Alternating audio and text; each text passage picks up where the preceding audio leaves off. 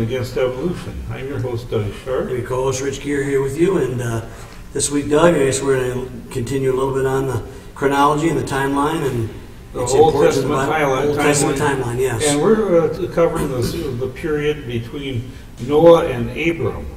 And uh, there's a lot of uh, uh, good information that the Bible has concerning the, the timeline of, of the, uh, the chronology here. There's really no dispute amongst uh, the chronologers about uh, this particular period.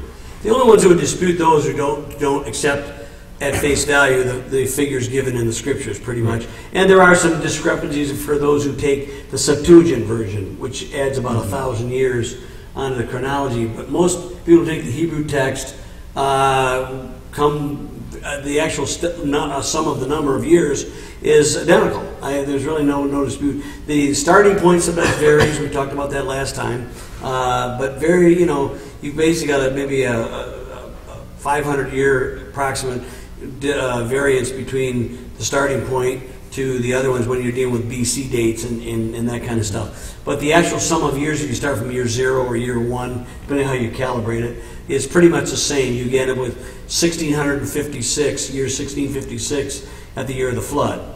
No, okay. Right. Noah was 600 years old at that time.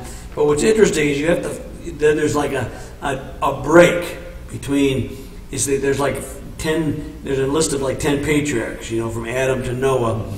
And then between Noah, and we talked about this again last week, we'll just reprise it sl- uh, quickly. And it seems like if you read just the text at face value, that Noah had triplets. Suddenly Noah was 500 years old and he had Shem, Ham, and Japheth. Okay, but when you really read the text, and uh, uh, the book I got here, Wonders of Bible Chronology, uh, Martin Anstey was the first one. He said the genius of Archbishop Ussher figured this one out. How how what happened, and it's not really difficult when you see it. It's like, oh, that makes total sense because what it tells you a few chapters down there is that when uh, Arphaxad, who was the son of Shem, who was the son of Noah, ha- Arphaxad is born two years after the flood. Shem was 100 years old. So when you take that into account, you realize that Noah would have been 502, Shem would have been 98 years old at the time of the flood. So Noah would have had to have been 502 because he was 600 years old at the time of the flood. All of that information is given in the scripture, not to be too com- convoluted or complicated about it. So then you can get the connecting link between the first 10 patriarchs, and then you go from Shem all the way down to Abram. And, and we'll get to when we get to Abram, you find out there's a very similar kind of a break there too. And that's that's also been solved. Now, who was the oldest, Shem, Ham, or Japheth? Japheth was probably the elder. It actually says Genesis, uh, the the authorized version says it pretty well that the the elder, the, the Japheth the elder, and uh, we pretty much most most biblicists believe that Japheth was the oldest. Shem was probably uh, he's either, he could have been the youngest or the middle child. A lot of people think that Ham was the youngest. Uh, I don't really know if it gives that, that, that particular. No, it really does not give that information. What it does say is that Japheth is the oldest, and but but the chronology is reckoned from Shem, not Japheth. In the Creation Truth Conference that I just uh, went to, Yep. uh, they had did a lot of, with the biblical chronology, and one of the things that I found was very interesting was that uh, um, a lot of the people in England, including the Queen, can trace their heritage way back to Charlemagne. Now, what the, they don't tell you, but the, which is true, is Charlemagne um, uh, has had his uh, chronology uh, traced all the way back to Adam.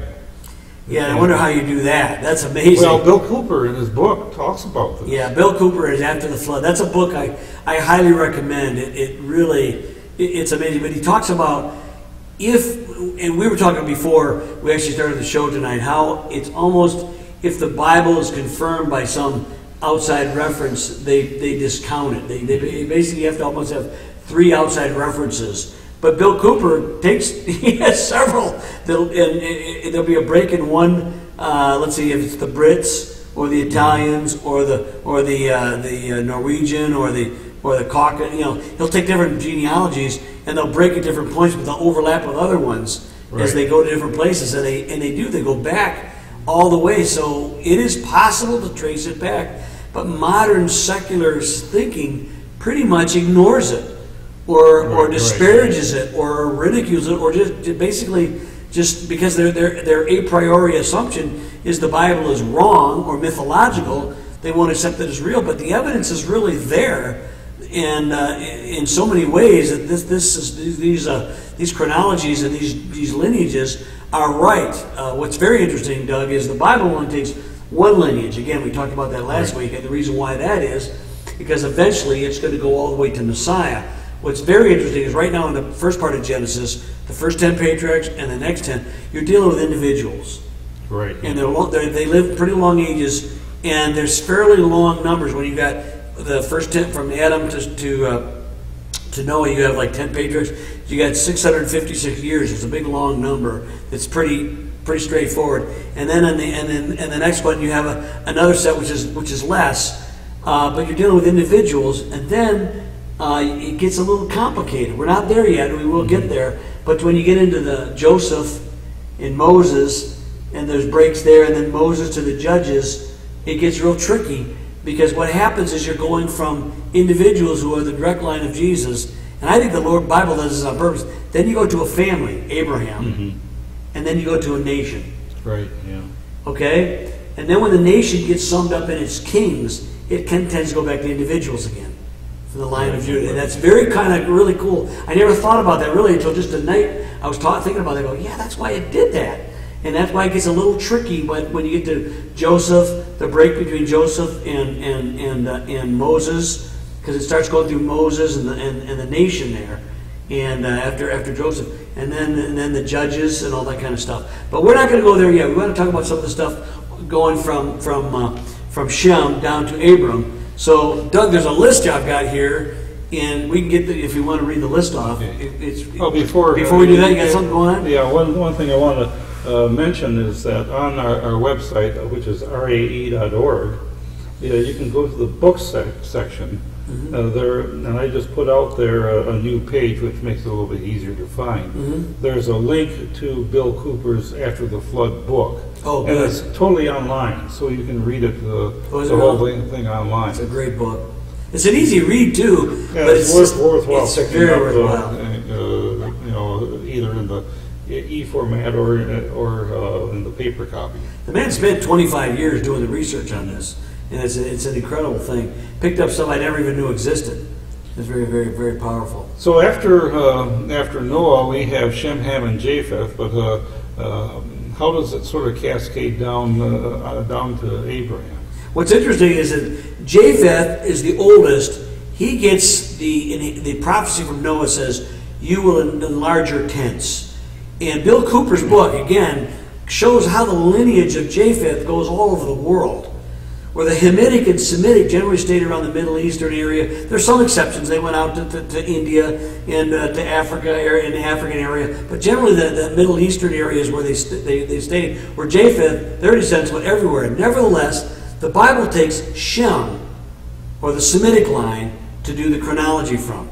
Okay? And so what happens, it, it, it- it's really interesting because these other people did all kinds of things probably in the world, and there's records of them historically and, and, and uh, whatnot. But uh, Shem's descendants, a lot of them were sheep herders, and you don't really, I mean, including Abraham himself when we get to him, you don't really read a lot about them. In fact, a lot of the times you've just a, the, the characters are just a couple lines, or even basically all they did was, again, like the first 10 patriarchs, you know, they lived and then they had kids and then they died. You know what I'm saying?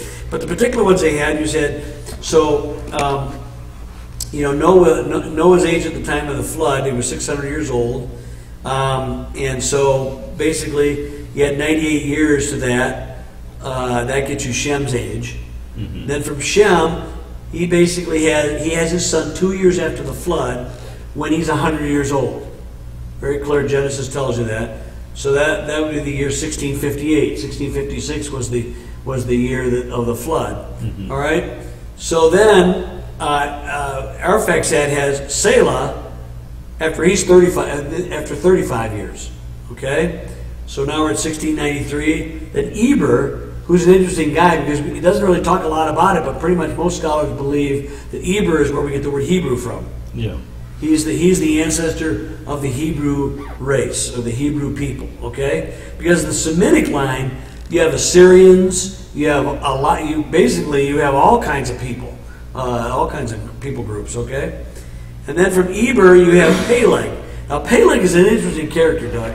And Peleg is born when Eber is 30 years old. So what's interesting now is you're, you're finding out the, the lifespans of these people are also getting shorter. We've talked about that many times in the, in the. Before the flood, it was almost universally 900 years plus. Uh, there were a couple of exceptions we talked about. But after the flood, Arphaxad lives only, you know, well, Shem lives 600 years. I think 600, yeah, I think 600 he dies. So he lives 350 years, shorter time period than his father Noah, who lived to be 950. And Okay. Noah lived up uh, almost to the time of Abraham. He did. I think he was. I think Abraham was 50 years old before Noah died, if I'm if I'm not mistaken. I haven't looked at that recently, but I believe he was definitely alive. Uh, Shem was definitely alive, but Shem uh, was 600. Then Arphaxad was 434, I think. So when he died, uh, we could look that up if, in the, in the scriptures. But he so lifespans are beginning to decrease here. Now, there's a reason for that. Yeah, go for And it. the, the, the reason is that, uh, uh, in my mind, is that the environment after the flood was uh, significantly different. And, uh, and uh, there would have been, uh, some of the cosmic rays would have been able, from the, the sun, would have been been able to penetrate the Earth's atmosphere. And this is a, a little bit of the vestiges of the old canopy theory. Yeah, but I also believe I also believe that, that the lineage we had a bottleneck. We have a genetic bottleneck Right. as well. Uh, you know, when, when God created Adam and Eve, He made it perfect. So for two people, you could have all kinds of variation. But we know now when you interbreed too much, it causes problems down the road. This was actually not an issue as much back in those days, but there was still not as much uh, variety after the flood. You got knocked down to eight people. All right? And we've talked. We talked last week about what if there was a, and I think your environment issue is a very good argument because John Sanford in the, uh, in the conference we were just in, and and says that uh, with each, in each generation there are, there are a hundred new genetic mutations. that's yeah, that's what I was getting and uh, that's uh, Kondrashov's question: is why aren't we dead 100 times over? Over. That's exactly right. If yeah, see, I tell those people in the they look, we believe Adam and Eve were two real people, but we believe God created them perfect. You have to figure out why two ape-like hominids. Not only could they have come become a male and a female at the same time, but why, with all the inbreeding, we are all genetically dead, hundred thousand times over, with especially the, the the deep time you put in there. We have a we have an outside source that created us perfect, and it was broken, but not totally defunct and, And, and and this is probably one of the uh, most um, uh, compelling arguments against evolution that you can ever think of. It's not going upward; it's going downward. It's going And, downward, yes. And uh, you can believe in devolution, but there's no magic little uh, natural selection that goes out uh, there and uh, and picks the best of all the of, of the genes. Yeah, that's magic realism. Yeah. But Doug, what, what, I wanted to get with the mutation and the environment, Jerry Bergman awakened my mind to the fact that environment does trigger and open things up in the genome. Things that may have already been there or began to be programmed in suddenly became active, and not all of those active things. Were, and contrary to evolutionary standards, they weren't good uh, acting necessarily. They were bad ones, and and, Right. and they caused lifespans to decrease. And the Bible, the record, it doesn't tell you why it happens. It just straightforward is recording that lifespans are decreasing. You're going from 950 in Noah, then 600 for Shem, 400 and some for Arphaxad. Then you go down to two by by time Peleg is here. He dies at 235. Okay, that's still a man. I'd like to live 235. You know, we're looking at right now, man. That'd be great to live 235 years. We're like if we get him 100. If somebody gets to be 120, he's he's in every record book in the world. You know what I'm saying? And uh, pretty much most most people are dead by the mid 80s or 90s, and that's a, that's a good life. Now, know? what you were talking about, you know, that there are certain things that switch on and off. Yes. And we're, uh, they're starting to figure out what that is, and they're calling it epigenetics. Epigenetics, correct? Epigenetics is uh, a methylation which uh, uh, either is present or absent on, on a uh, on uh, part of the genome, and it uh, turn, it's a, acts as a switch. It turns it on. It turns That's it what I was getting at. And so um, what that does is that uh, it, accounts for things like uh, uh, if you, uh, people who live in higher altitudes don't get altitude sickness because they, Right. they get used to it. And it's because the methylation turns on the genetic switches that were already programmed in the genes to do this. Right. And so there are you know, things the creator already built in, and you know the you know the things that uh, mutations do is uh, it uh, will damage certain pieces of this so that the- That's right. and and, uh, and so mutations are is never a good thing. It's uh, uh, you know they talk about beneficial mutations. I'd like to know what what they're talking about. But- Well, I, I we've talked about this a little. Beneficial mutations are in certain environments, certain things uh, There's a create an advantage, but they're never by an increase in genetic information, which is what evolution demands. I don't want to get too complicated there, but for those who watch the show, in other words, a blind fish in a black cave or dark cave, that's an advantage because you don't get eye infections, okay? You don't get the problems. But in a seeing eye world, you know what a blind fish is? Food. you know, they're food. It's the same thing. Uh, people can say a beneficial mutation was sickle. The people who have uh, a defective uh, sickle cell anemia, they don't get malaria in Africa, but th- they're sickly. Who, who thinks that that's beneficial? Yes, in that particular s- strain of environment. Uh, again, uh, talk about the the damaged uh, bacteria in hospitals. Okay, they, they they survive. They're very they're much more virulent, but they have a damaged. Uh, um, uh, nutrition uh, absorption system. Yeah, so they don't absorb the antibiotics the same way. Right. So in a sterile environment, those have an advantage. They can live, and the other ones are going, who need the food, who, to, they'll die. So they have advantage. But they're all de- they're definitely not beneficial as far as the, the health of the cell or the organism is going on. And that's what I think when they talk about beneficial mutations, Doug. I've never seen anything other than that. What they really want you to believe is to make the leap that this benefit, this mutation has made something better than it was before, and it never has. What it's allowed you to do is adapt in certain limited environments, and that can be beneficial, but it's not healthier for the organism. So that's a, that's another. Now let, us get off the rabbit trail and get back. I know, but it is fascinating because we're watching this go down to. So Peleg, what happens in his day, Doug? well, the Earth was divided. Yeah, and we have all kinds of people think uh, there are all kinds of scenarios in this. Basically, uh, there was some kind of uh, uh, there, there might have been some kind of a physical earthquake involved, but I think it's primarily most people primarily think it has to do with the division of languages. So this would have been this this when you look at the ad the addition, the genealogy, the time frame of Peleg, it would have been about the Tower of Time of Babel. Okay. Uh, there's a lot of creationists who uh, try to fit the continental uh, split at this point in time. Yeah, this reminds me, Doug, of the people who put a, a pre-Adamic flood. You know, the, the, the, the gap between Genesis 1 1 and 1 2. It's amazing how people put things in that the I mean, Scripture talks about all in the Noah's flood, everything's destroyed. The, you know, the, the flood water, I mean, the whole earth is.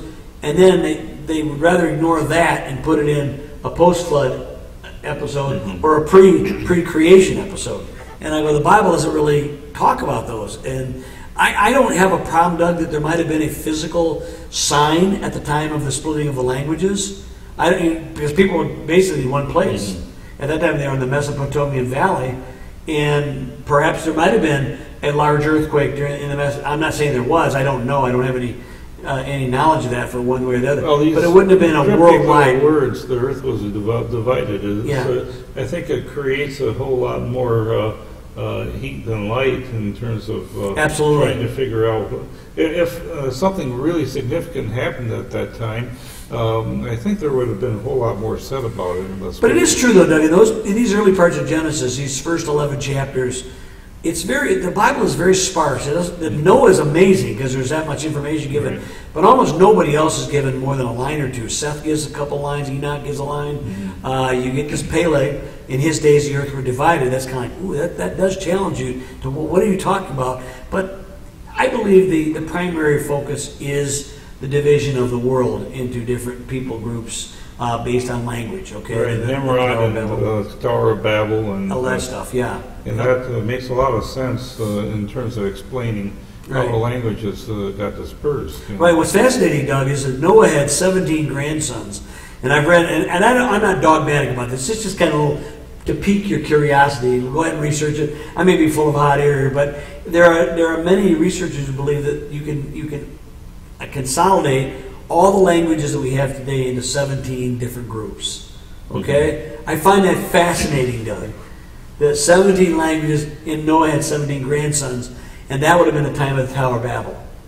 At Now, that time, would okay? the time of Nimrod been, been the time of Peleg? Yes, right around And that. so Peleg that went- would- yeah, Would make sense. that Yes. That you would uh, equivocate the two. That's what I'm saying. And, I, and this is just speculative, absolutely admitting that. But it makes, uh, it, it is not unreasonable, okay? And I think it's fun to do those kinds of things. I don't think it's wrong to do that as long as you don't rest a whole theo- theology on something like that. Like I say, I don't have a problem that there might have been a major earthquake in the Mesopotamian Valley at the time of the Tower of Babel. But am I saying that it happened and, or that, that, that's, is that, it's not a worldwide continental divide thing. That would have been Noah's flood and, and, and some of the aftershocks perhaps after that. But and that's why I say there could have been some aftershocks even as late as the time of Moses. There probably was still some things going on as the world was settling. But So you have Reu, and you have Serug, and then you have Nahor, Nahor, and then Terah, and then Abram. Abram. Yep. And those are the the ancestors of Abram, and uh, they there's not much mentioned in the scriptures about them, except that they. Uh, I'm going to give you a. li- This is Philip Morrow puts it together, and he really bases it on Anstey's book, and I think it's really, really good the way he does this from the flood to Abram.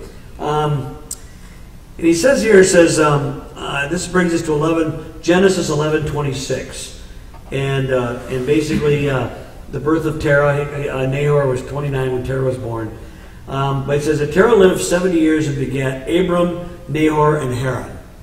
So that's remember what said. Noah was 500 years, and you had Shem, Ham, and Japheth. So it's very there's a very simple similarity here. Um, but this does not state the year of Terah's life in which Abram was born.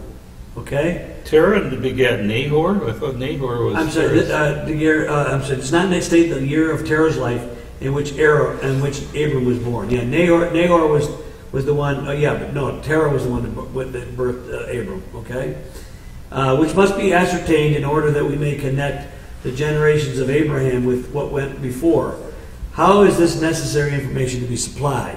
And he gives it because this Ussher really figured this out. Okay, as in the parallel case of the sons of Noah, where Shem is named first, not because he is the oldest son, but because he is the one through whom God's purpose was to be accomplished.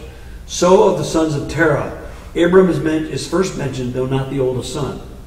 From Genesis 11:32, we learn that Terah, Abram's father, died in Haran at the age of 205 years.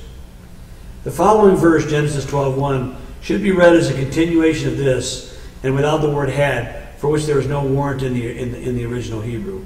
For it appears by the wording of the, of the narrative, as well as by Stephen's word in the New Testament, Acts 7:4, that God gave two direct, distinct calls to Abram.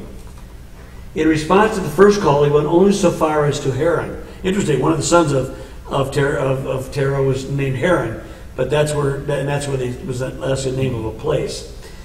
But it says, and he continued to abide until the death of his father. Therefore, Genesis 11:32 and what follows should be read thus: And the days of Terah were 205 years, and Terah died in Haran. And the Lord said to Abram, Get thee out of thy country and from thy kindred, and so from thy father's house unto a land that I will show you. So Abram departed as the Lord had spoken unto him, and Lot went with him. And Abram was 75 years old when he departed out of Haran. And that gives us the missing information. Okay? From this, it appears that Terah died at the age of 205, that upon the death of Terah, Abram departed out of Haran, being then 75 years old. Mm-hmm. If then Abraham was 75 years old at the death of Terah, the latter, that is Terah, was 130 years of age when Abram was born. Okay? This enables us to complete the table of the generations of Shem as follows. So Terah was born in 1878. We had Terah's age at the birth of Abram, which is 130, and Abram was born in the year, two, 2000, year 2008. Okay, I have a question Okay. for you, Rich. Yes. Um, if uh, Abram was born uh, when Terah was 130 years old, Right. why was Ab- Abraham sweating the fact that uh, he wasn't uh, having a kid at At 100. Yeah, that's a good question. I, I thought the same thing. The reason why I think is basically things are already. Uh, he lived to 205. Abram already lived. Uh, he lived to be 175, And what's interesting is he had many kids after when he married Keturah. Right. After Sarah died, she was 127. The only woman I think mentioned in the Bible at the age of her death, how old she was at her death. And he has kids with with uh, with um, with uh, Keturah, and it may have been because he knew Sarah was not able to conceive. Right. Yeah, as Yeah, much as he was, as much he as was him. probably uh, uh, you know, wondering, you know, expecting that Sarah would conceive much Right. earlier. and, and there was no children at all. Where Terah lived 40 years longer, number one. Number two, he already had two kids before Abram. And Abraham might have been born by a second wife. There seems to be indication in Scripture that it might have been a second wife. In fact, I think he even mentions that here. It says, um, the lateness of Abraham's birth um, uh, in the life of his father explains how he could only be 10 years older than his half niece Sarah, or Iscah, Genesis 11 29, and therefore of an age to marry her, notwithstanding that he belonged to a generation earlier than that to which she belonged. Sarah married her father Haran's much younger brother. And similarly, Milcah, Sarah's sister, married her, fa- married her father Haran's brother Nahor. Isn't that interesting? Abram was probably Terah's son by a second wife.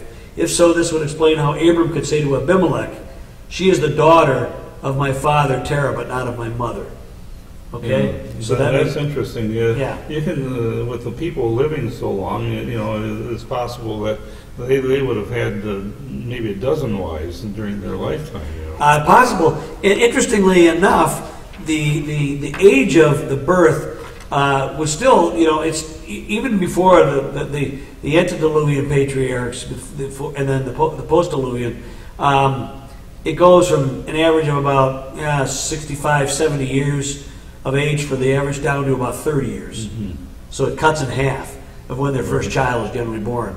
But Abram was the third, was probably the, the youngest of the 3 So it's fascinating, though. There's a, there's a parallelism there.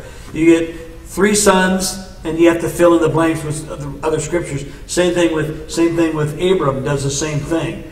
Up until this point, as we've said before, all the lineage really, even though there's there's little tricks there, mm-hmm. Ussher and other chronologists figured it out, and better better people than I than me. I would have taken me a while to figure that out. Have gotten it, and it's it, and it's an unbroken chain when you put it together, and and it's all through individuals up to this point. Now we're going to start going to something else. puzzle to, to figure out, isn't it? It's fascinating, especially when you know the purpose of, of the chronology is about redemption. It's not really about numbers. Otherwise, you could have picked any other genealogies, and, and they and they and they, they only pick one. And, uh, and it makes sense. It uh, holds uh, fast to what we understand from scripture and history and science. Uh, and uh, you know, if it, uh, like I like I said before, if it had worked out that the uh, Methuselah had died after the flood, Yeah, yeah. I, I uh, sweated been that hosed. one when, when I was uh, running my spreadsheet numbers, and I said, "Oh, it works." Yes. We'll, we'll see you next time on Revolution Against Evolution.